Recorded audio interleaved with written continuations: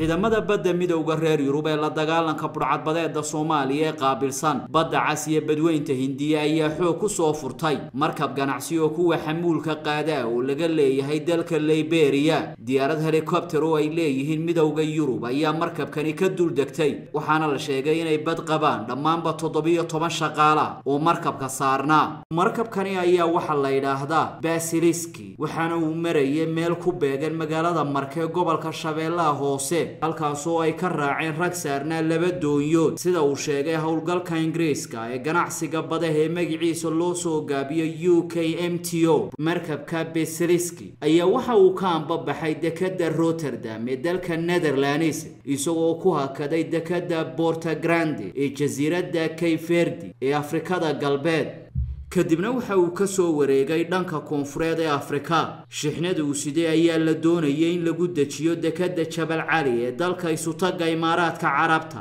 Budhcadbadeeda soomaaliya dhowaan waxay shan milyan oo dollar ay ka qaateen. Markab dhuxul siday oo laga leeyahay. Waddanka bangaladesh oo ay afduubeen dhaqdhaqaaqyadooda ayay xoojiyeen ilaa markii xuutiyiinta yemen ay bilaabeen inay ugaadhsadaan maraakiibta ganacsiga ee ka gudba badda casar dhammaadkii sannadkii hore. Maasha allah soo dhowaada.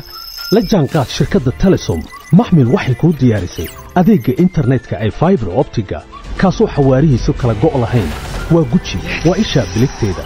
Intuu soo gudlanayo hadalba gam hagarle ii ku isticmaal sochial midiyaha kuna daawo wararka cayaaraha iyo onlaine geemiska haddaba maxmil soo gasho gurigaaga xafiiskaaga iyo goobtaada shaqo. fadlan nagala soo xidhiidh nambarka gaaban